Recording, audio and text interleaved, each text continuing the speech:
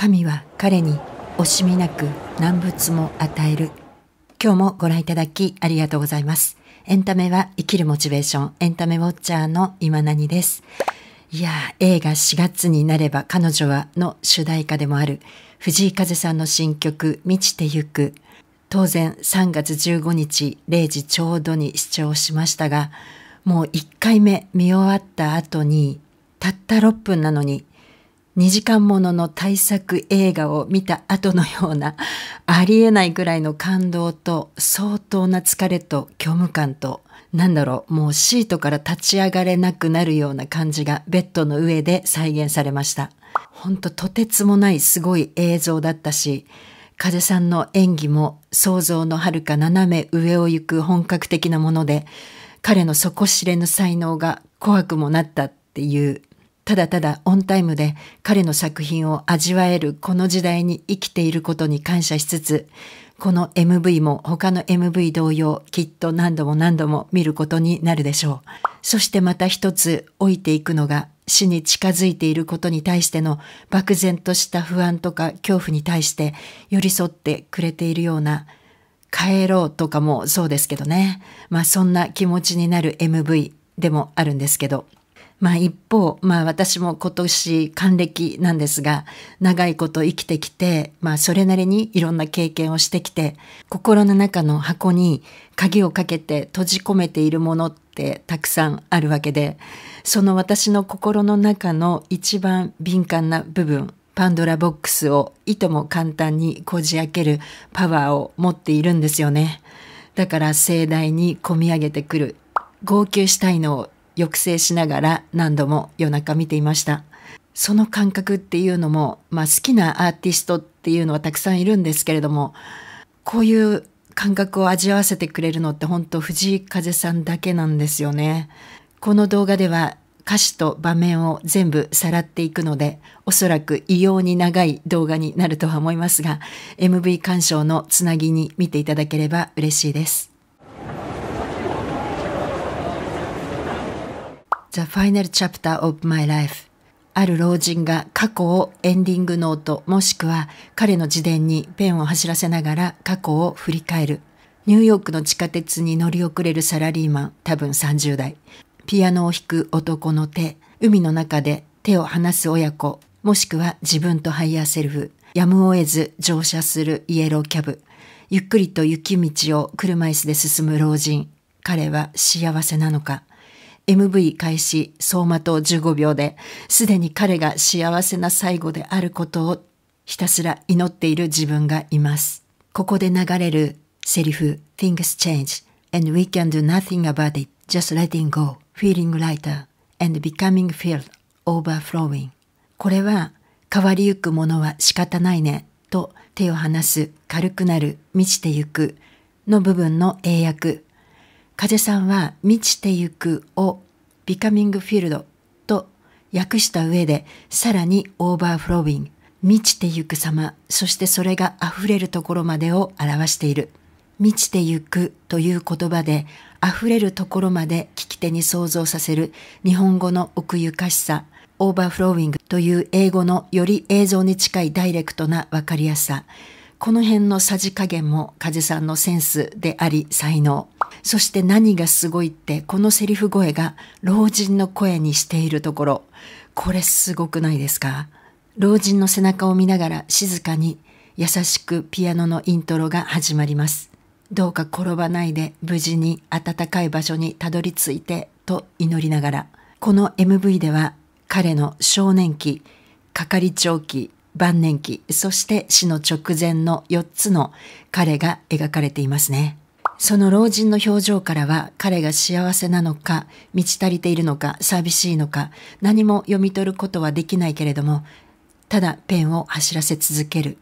その字は紛れもなく見慣れた風さんのもの。初見の時ここで、これが藤井風さんの特殊メイクであると確信するんですね。手のシワに至るまで精密な作り込みをしていたので、まさかね、風さんだとは思わなかったですけれども、そして特筆すべきはイントロの最後の小説2.5拍目の A から B フラットへのコード進行。これ80年代の R&B とかで聞いたことがあるコード進行なんですけど、まあそれがね、ルーサー・バンドロスなのか、アレクサンダー・オニールなのか、何なのか思い出せないままでいましたが、そのフローに、この老人の愛とそれを全て出し切った後の無、そして解放、希望を感じました。恐ろしくかっこいいし、おしゃれすぎますね。これ全編通して何度か出てきましたね。風さんがこのコード進行を使うのは初めてなんじゃないでしょうか。三文で使っていましたかね。これわかる方いたらぜひ教えてください。風さんからこのコード進行について意図聞きたいな。とにかくピアノだけのシンプルな、おそらく原曲をあまりいじってないであろう幕開けに、ヤッフルさんの愛と力の入れようを感じたのでした。まず初っ端から多少ドキッとしたのが、これまで使ったことのない言葉、重ね合う、エンブレイス。これは映画からのインスパイアされたワードだと思いますが、包容とか成功とかダイレクトな意味もあるし、受け入れるとか方眼、容認、受諾といった受け身的な意味もあって、情熱的な愛としての重ね合うというより、もちろんそこには愛があった上で、人の営みとしてのエンブレイス感を感じるんですが、ちょっとここ風さん的にこういう表現もするんだなとまさに Things Change 進化する風さんという印象。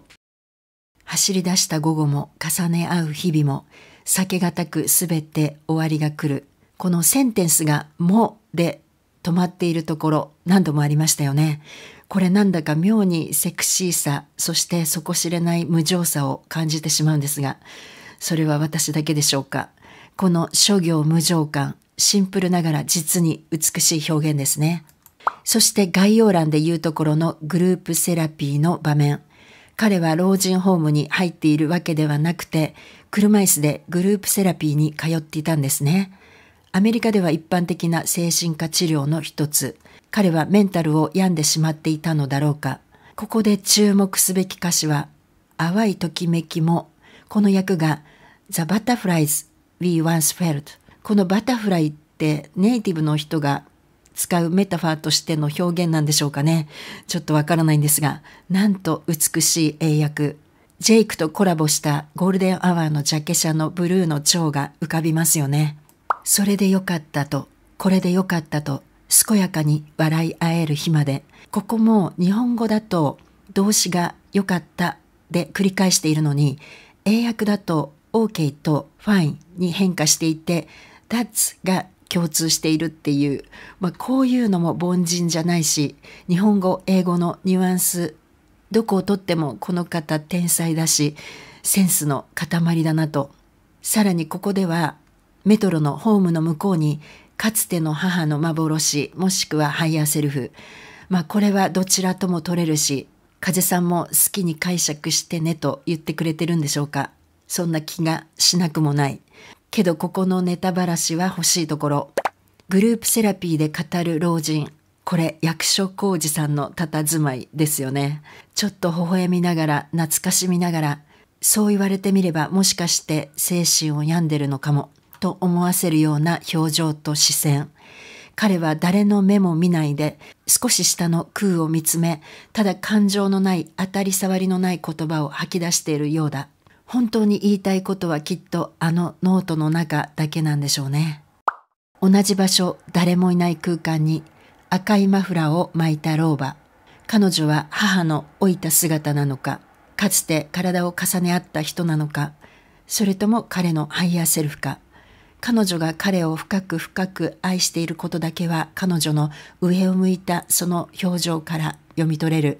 そして彼女は現世の人ではないことも人は希望を持つ時に上を見て絶望を持つ時に下を見るその対比でしょうか動画の概要欄には高橋真理子さんという女優さんの名前だけ出ていてあえて何の役だかは表記されていないんですよねなのでそこから考察すると母ではないということを意味しているようにも思えます明けてゆく空も暮れてゆく空も僕らは越えてゆくバーでピアノを弾く男性。彼はサラリーマンを辞めてピアノマンになったんでしょうか。そして白ワインを手にそれを見つめる母もしくはハイヤーセルフ。我が息子の夢を叶えられて、そのピアノが聴けて幸せそうな様子とも取れる。そして次のカットでは彼女はもうその場所にはいない。安心して帰っていったのでしょうか。変わりゆくものは仕方がないねと、一番のサビまでは静かに優しくピアノで語りかけてくるように言葉が紡がれていて、時間の経過とともに温かさとでも寂しさとこの苦しいような何とも言えないような気分にさせる。これが他のどのアーティストにも感じない唯一無二な感情。ここはおそらく彼の家。この吹き抜けの上からのアングルが青春病の MV を彷彿とさせますよね。山田智和監督と藤井風の演技の相性は抜群にいいと思っています。多分風さんが後から見てもえ、こんな表情してたんだ、みたいな表情が収められているんではないかと、青春病がそうだったように、手を離す、軽くなる、満ちてゆく、美しすぎる言葉ですね。ここで死の直前の老人が大海原で一人でボートに乗っている映像。これはさすがに合成ですよね。そして海の中に伸ばされた少年の手。その手は何かを探しているのだろうか。ここは老人の心の様子の隠喩だと思うけど、彼は満たされたということでしょうね。風さんの話の海の中の泡っていうのを思い出す場面。2番の A メロからはリズムセクションやキーボードも加わって、これぞヤッフルサウンドという分厚さが出てくる。かっこいいですよね。そして係長。私ね、サラリーマンな風さんが何より好物なんですよね。あの祭りのショート動画電話してるやつあれ何回見たことか。なんか風さんってサラリーマンになった途端言い方ちょっと悪いんですが多少偏差値が落ちる感じというか有能じゃない感じが非常に愛おしくて好きなんですがまあそういうキャラをねあえて演じられているということなんでしょうけれどもここでは既視感いっぱいのライブでもよく見るような軽やかなステップ、動きをされていて、非常にほっとします。ああ、これぞカズさんだと。まあ、老人があまりにもアカデミー賞役者だったんでね。このギャップに驚かされます。彼は地下鉄に乗れなかったので、軽快に踊りながら会社に向かったけど、さすがにこれは間に合わんやろということでタクシーに。なんでこんなにリーマン姿でイエローキャブがしっくりくるんだろうか、彼は。ここの歌詞も本当に風さんならではで独特ですよね。手にした瞬間になくなる喜び。いや、これはもう考えもつかない言葉。早くこの境地に達したいものです。まだ修行が足りませんね。彼は食品メーカーの営業マン。係長かもしれないけど、平社員かな。遅刻はするし、営業成績は上がらないしで、上司にもこっぴどく怒られ、罵られる。絶望する風リーマン。こういう挫折、絶望しているんだけど、かすかにめげないところが垣間見えるみたいな演技。めちゃくちゃうまいですよね。無駄にしていた愛という言葉。今なら本当の意味がわかるのかないや、この歌詞も刺さりますね。まずここで込み上げてきたんですよね。でも一旦抑えます。本当の愛を分かっていないミスユースな彼は生涯孤独だったのかな。そして2番サビのこの歌詞も刺さりまくる。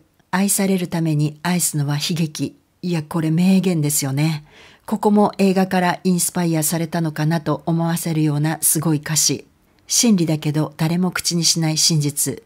ただ見返りを求めずに愛せばいいのだということが分かっていなかった頃、ついに彼は神に祈る。カラカラな心にお恵みをと。ここでの係長営業3連発。これ好きだわ。ダメサラリーマンっぷりがすごい。一生懸命営業しているけど何かずれてるんでしょうね。結局彼は話すら聞いてもらえないっていうね。これはリアルすぎて全営業職が身につまされる場面。時代的にも4、50年前くらいのニューヨークっていう感じですね。そしてついに彼は首を言い渡されちゃった感じなんじゃないでしょうか。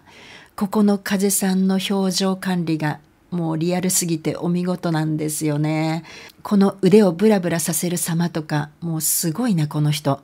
カラカラな心にお恵みをの英訳は、Rain of Blessings on our Died Out Hearts 雨の恵みですね。風さんの歌詞には雨とか空とか自然の表現がたくさん出てくるところが本当に大好きです。そして初見で見た時に一番印象的だったのがこの場面。おそらく解雇されてしまった彼はバーで焼け酒を。お酒を飲まない風さんのドランカー演技が秀逸すぎましたね。これも本当に驚いた。椅子から崩れ落ちる演技とかね、すごすぎませんか？酔っ払い観察してたりしたのかな？彼の周りの人々は結構飲む人もいるでしょうからね。そして果てはこれ絡まれたんでしょうね。やけになった彼は取っ組み合いの喧嘩を。こういうのもこれまで見たことないですよね。ダムで一人でボコボコになったやつは見ましたけどね。晴れてゆく空も荒れてゆく空も僕らはめでてゆく。いや、この歌詞もいいですよね。めでてゆくの役はチェリッシュとしてますね。温かみがあって素敵な言葉です。そして私が一番涙腺崩壊した歌詞はここ。何もないけれど全て差し出すよ。まさにこれが満ちるために必要なアクションだったんですよね。この男にこのセリフ言われたらどうですか？やばいですよね。そして彼はため息とともに書庫で荷物を整理し、デスク周りも片付ける。もう死神にでも取り憑かれたようなこの絶望の表情。そして帰宅する地下鉄の中、隣の車両に会いたかった彼女の姿を見つける。ここのサビ終わりの満ちてゆくの後のフェイクたまんないですよね。そして店長からのヤッフルさんらしいギターサウンドっぽいキーボードの旋律。ここの盛り上げ方がすごい。もうヤッフルさん大好きです。いやー、ここマジで好き。もう酒なしじゃ聞けない感じ。なんかものすごくこう飲んでしまいたい欲望に駆られましたけどね。まあ飲まないですけど。いやこの曲もライブで聴きたいですね。日産スタジアム当たるんだろうか。もうオンタイムのアクセス数を見てるともう当たる気がしないんですけどね。まあ頑張りましょう。そしてここで海の中の手はお互いを求め合って。そして彼は彼女ハイヤーセルフを必死に探す。彼女に会いさえすればきっと答えがわかるに違いない。そう思いながら、ここでの演技もこれ何なんでしょうかね。美しすぎる横顔、歩く後ろ姿も完全に役者ですよね。そしてここで子供時代の風さん、母との思い出の楽器店なのか、一人でここに弾きに来ていたのか、おそらく彼はこのピアノを買うことはできなかったんでしょうね。そして水の中で母、ハイヤーセルフの手を離す。ここは C メロ、ブリッジの部分になるんでしょうかね。ものすごく美しい旋律と彼のファルセット、一段と丁寧に歌っている感じ。やがて生死を超えてつながる。ここの歌詞も強烈ですよね。風リーマンの彼は彼女を見かけたことでこの場所を思い出して、この楽器店を訪れ、あの頃に戻り昔弾いていた曲を弾く。そして自らあの人の手を離す。すべての執着を手放す彼。ここの最後の軽くなるの後の満ちてゆくで転調するところがもうこれ映画音楽ですよね。盛り上がるにも程がある。そして彼の向かった先は教会。何かを感じて微笑み、その衝動に突き動かされ、解放されて走り出す。彼は自由を手に入れた。ここで老人は初めて微笑むんですよね。そしてこのギャラリーに飾ってあるのはまさにこれ、顔が風さんですよね。やっぱりお母さんなのか、愛おしい人、思い残すことはなく彼女のもとへ。そして彼は息絶える。満ち足りた気持ちで、あの人に会える喜びを胸に。っていうか、このおとん様のグラサンをかけた池風がハイヤーセルフなんでしょうか。これウッキウキで墓場にたどり着いていましたね。ああ、そうかもね。そしてこの節目がちスマイル。夢に出てきそう。やばいね、これ。これみんな好きですよね。そしてついに彼女が迎えに来ます。次の場面では彼は消えていて、本当に彼はそこにいたんだろうか、実在していたんだろうか、人の一生は歌方のごとく。ここのアウトロのまるで心臓の鼓動みたいなリズムセクションが最高すぎるだろう。これもヤッフルさんの仕業ですよね。心臓の鼓動がやがて止まるみたいな演出。風さんの世界観理解しすぎてますもんね。素晴らしい。ああ、ここでは自分の墓見つけてますね。まあこれは花の MV の彼と同じですね。やっぱり彼こそがハイヤーセルフ。しかしこんなフォトジェニックなニューヨークのお墓あるんですね。ビル群に見守られる墓たち。ここのね、街の環境音がなんかめちゃくちゃいいんですよね。いやほんとすごい作品でしたこれ。本当風さんご本人に解説聞きたいですよね。昔みたいに英語でいいからね。ということでまた何回も見たいと思います。最後までお付き合いありがとうございました。ということで藤井風さん満ちてゆく MV の感想でした。英語表記すると未知っていう句と分割されるんですよね。ここら辺のセンスも素晴らしい。ご覧になったあなたの感想などぜひコメントお待ちしています。もちろん4月になれば彼女はも公開初日に見て感想動画を出したいと思っています。引き続きご一緒に楽しみたいと思ってくださった方はぜひチャンネル登録もお願いします。シニアチャンネルの方では健康やお金、暮らし方など少しでも老後不安をなくす情報を発信しています。50歳以上の方ぜひ遊びに来てくださいね。それでは最後までご覧いただきありがとうございます。また次回の動画でお会いしましょう。以上、今何でした？